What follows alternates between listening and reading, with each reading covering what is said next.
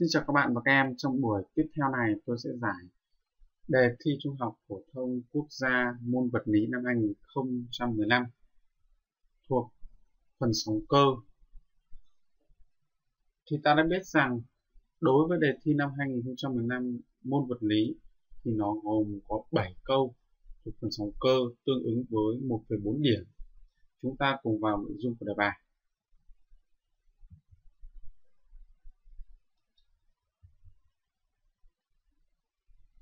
Câu số 1 Một sóng cơ có tần số F truyền trên dây đàn hồi với tốc độ truyền sóng là V và bước sóng lambda. Hệ thức đúng là AV bằng lambda nhân F, BV bằng F trên lambda, CV bằng lambda trên F, DV bằng 2pf nhân với lambda. Đây là một câu lý thuyết và chúng ta dễ dàng tìm ra được đáp án của đề bài đó là V bằng lambda trên F chọn đáp án là A.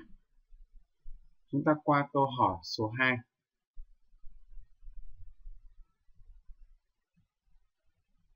Một sóng dọc truyền trong môi trường thì phương dao động của các phần tử môi trường A là phương ngang, B là phương thẳng đứng, C trùng với phương truyền sóng, D vuông góc với phương truyền sóng. Thì đây cũng là một câu hỏi lý thuyết và khi các em học tốt từ lý thuyết thì chúng ta dễ dàng giải được câu này.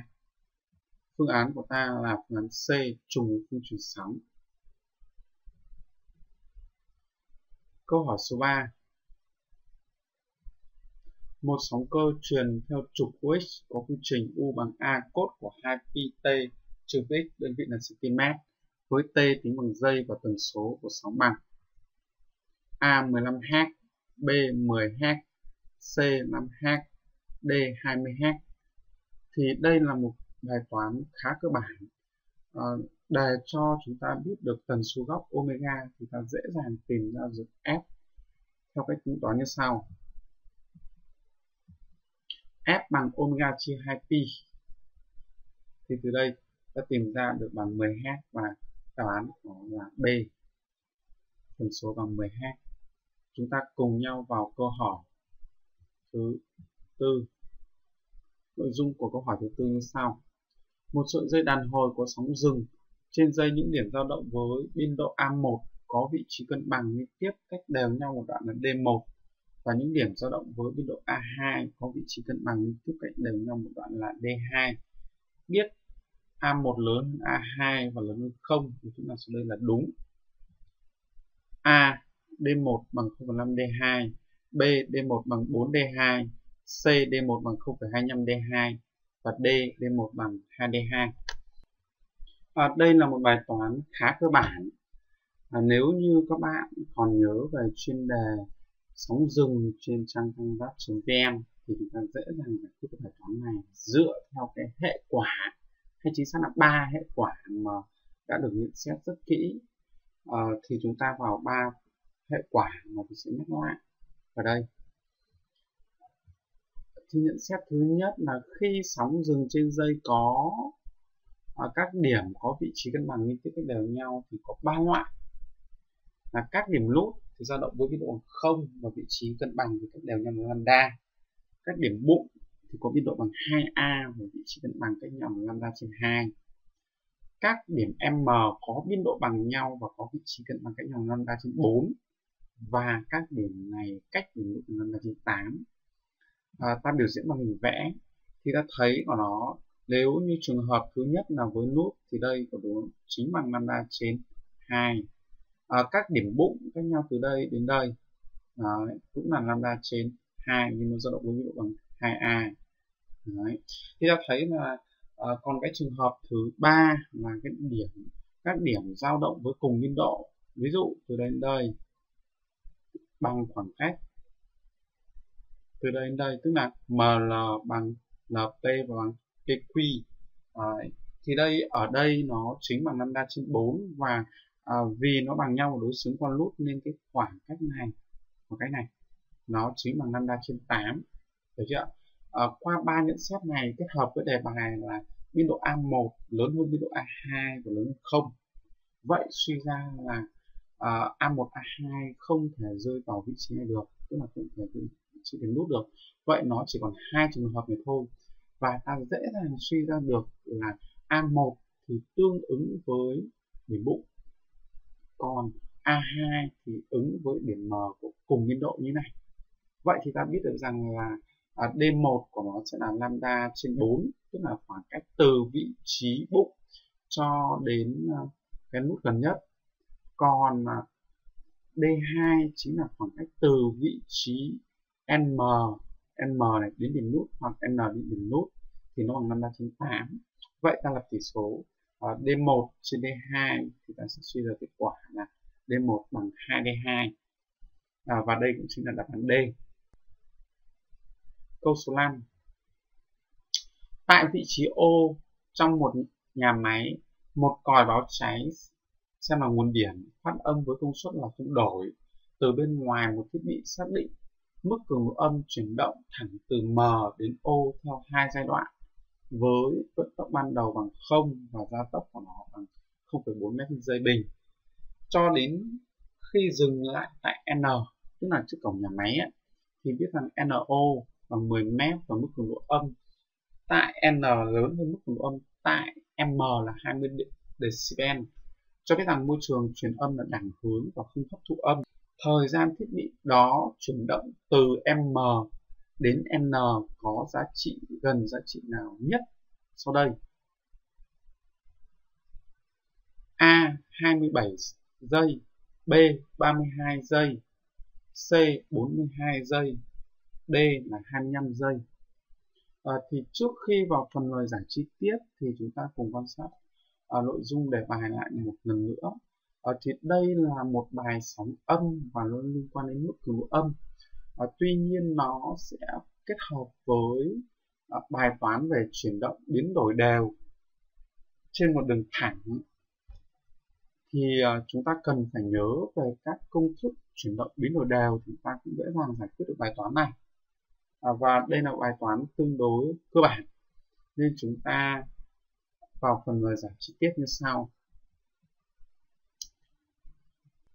À, ta biết rằng là chiều truyền âm do nguồn ô phát ra thì có dạng như thế này.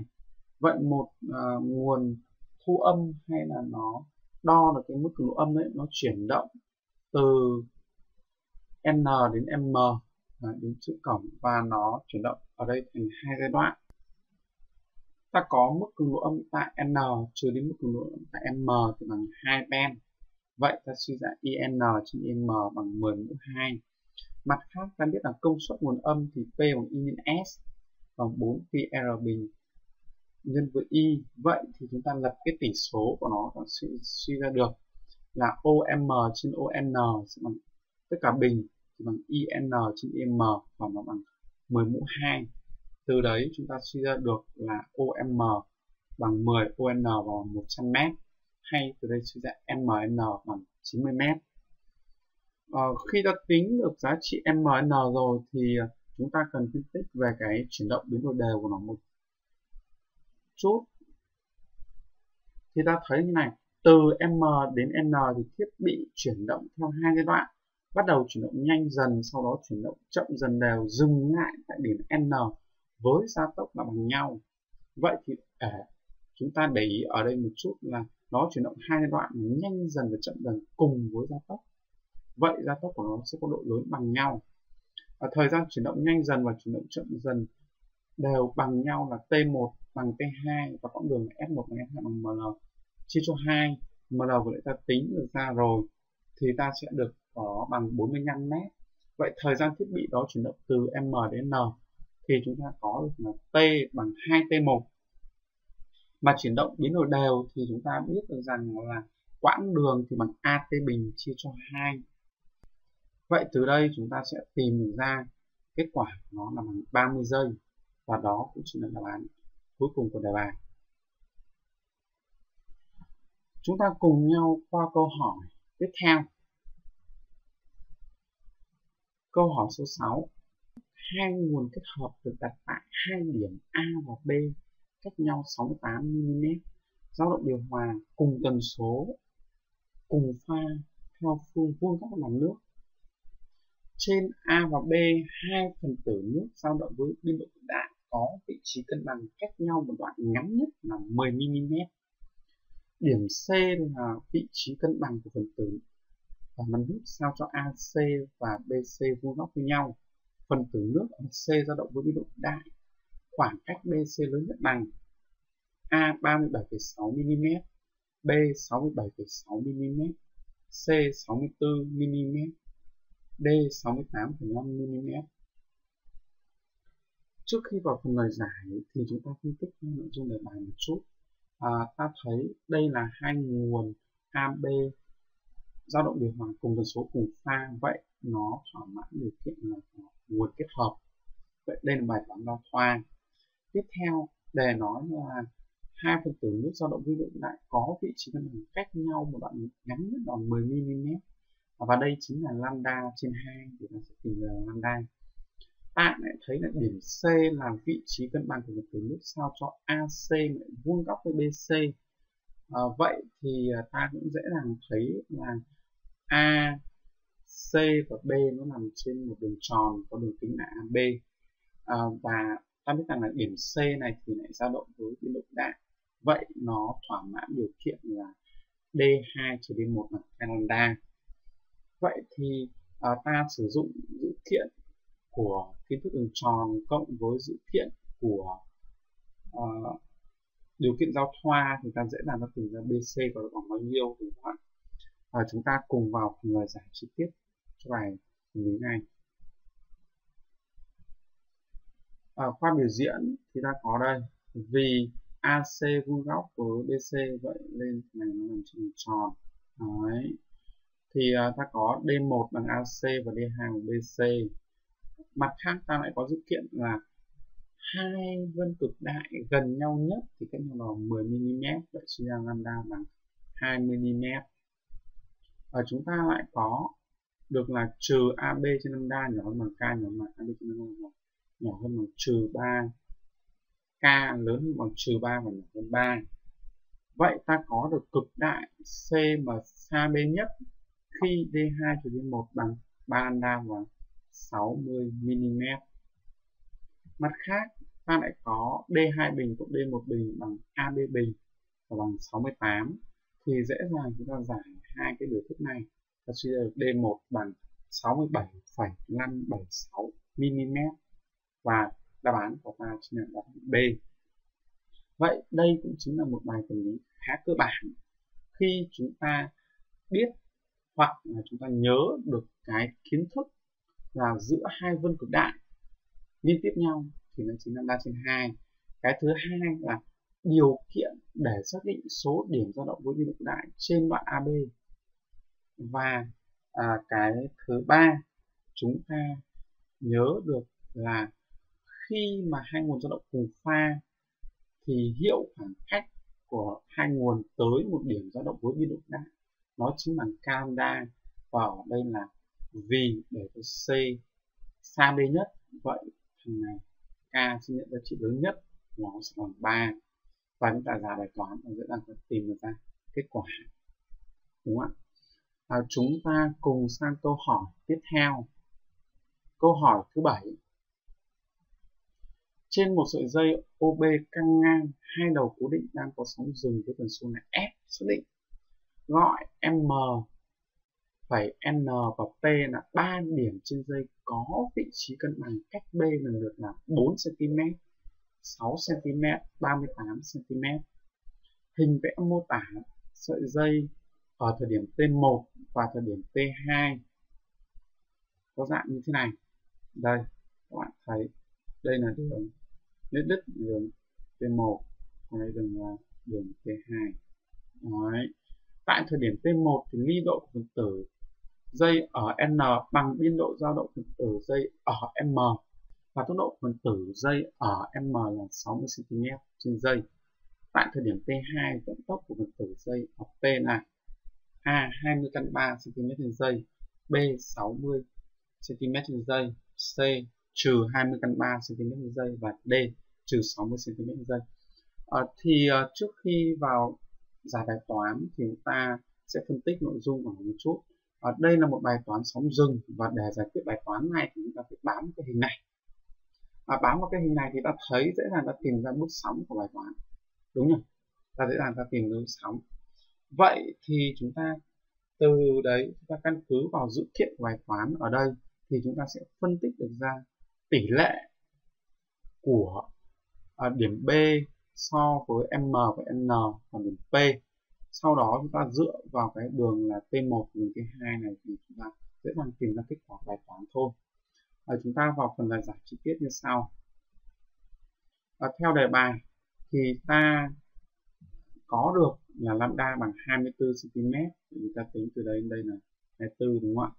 À, vì UM đang chuyển động theo chiều dương ta cũng lại có được như ban đầu tôi nói BM thì à, ta tính ra bằng lambda trên 6 BN bằng lambda trên 4 và PP nó bằng 1,5 lambda cộng lambda trên 12 thì à, ta thấy được rằng là à, cái điểm M và điểm N thì nó nằm ở trên cùng bó sóng. Nên theo tính chất của sóng rừng thì nó sẽ phải dao động cùng pha với nhau. À, còn cái điểm P thì rõ ràng là nó nằm ở, ở bó sóng khác so với điểm MN và không nhìn kề thì ta thấy này những điểm này ở những điểm nằm ở trên bó sóng này thì sẽ dao động ngược pha so với điểm nằm trên bó sóng này. Đấy, những điểm nằm dao động những điểm nằm trên bó sóng này sẽ dao động cùng pha với bó sóng này và ngược pha với bó sóng này. Những điểm nằm trên bó sóng này sẽ dao động uh, ngược pha với thằng này vậy suy ra cũng ngược pha với thằng này, nhưng dao động cùng pha với thằng này vậy thì từ đây ta thấy được rằng là điểm M và điểm N sẽ nằm ngược pha so với điểm P Đấy. thì ta có được là UM trên UN thì chính bằng AM trên AN và ta tính là bằng căn 3 trên 2 mặt khác à, vì nó dao động ngược pha của P với điểm M, nên ta có VP trên VM sẽ bằng trừ AP trên AM đấy thì đây dấu trừ biểu hiện sự ngược pha và ta lại có là tại thời điểm T1 thì UN bằng chữ AM lên ta có được là UM bằng AM nhân với căn 3 trên 2 và thế tính toán đã được VM max bằng 120 cm trên giây. Đấy, tại thời điểm T2 thì ta biết rằng T2 thì bằng T1 cộng với 11 chia cho 12S đây là sự kiện đề bài và ta phân tích tính toán được bằng nên ta phi bằng 11 pi trên 6. Đấy, ta biểu diễn ở trên hình này thì ta dễ dàng suy ra được đó là VM tại thời điểm T2 nó sẽ bằng là 60 căn 3 cm trên giây. À, vậy vậy thì chúng ta cũng suy ra được rằng là VP dao động ngược pha so với VM nên chúng ta suy ra tính toán là bằng trừ 60 cm trên giây và đáp án đó là đáp án D. Vậy đây là một bài toán khá hay à, và chúng ta cần phải nhớ được về kiến thức à, cơ bản sóng rừng của sóng rừng liên quan đến là à, các điểm nằm trên cùng bụng thì sẽ như thế nào các điểm nằm khác khắc bụng liền kề với nó sẽ như thế nào Đấy. và chúng ta sử dụng thêm một chút nữa đó là kiến thức về đường tròn. Thì chúng ta dễ dàng suy ra bài toán này thôi. Và để hiểu được kiến thức đường tròn này thì uh, các bạn nào mà chưa hiểu thì chúng ta vui lòng xem lại phần đường tròn trong uh, chúng ta vui lòng xem lại phương pháp đường tròn ở trong chương 1 phần gia động cơ bài số 1 của ta. Uh, cảm ơn các bạn và các em đã theo dõi. Hẹn gặp lại các bạn và các em trong buổi chữa đề tiếp theo của đề trung học phổ thông quốc gia môn vật lý 2015 thế này.